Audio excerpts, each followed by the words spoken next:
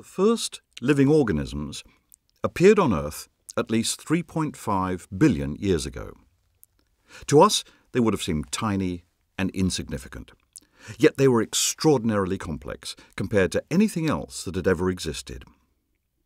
Over the next 3.5 billion years, they would diversify and evolve.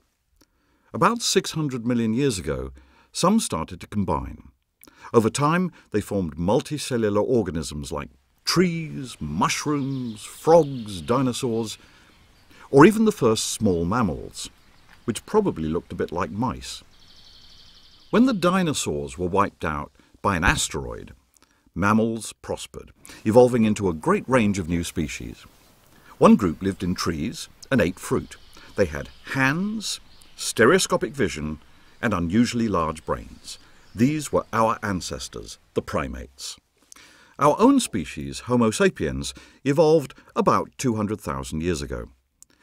Now, we treat the appearance of humans as a new threshold because we would eventually create entirely new forms of complexity.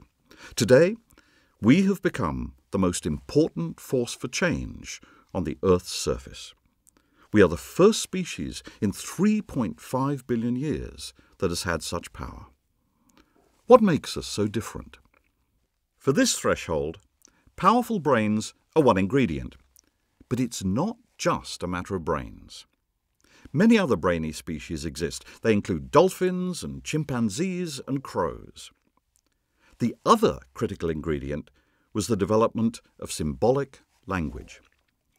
This enabled humans to share their ideas with each other very efficiently. Human communities grew and interacted, creating the perfect conditions for something new the ability to learn collectively instead of just as individuals.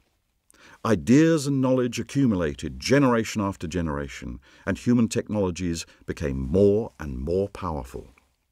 As knowledge accumulated over time, our control of resources and the environment increased and accelerated, leading humans towards two new thresholds that would have a huge impact on our planet.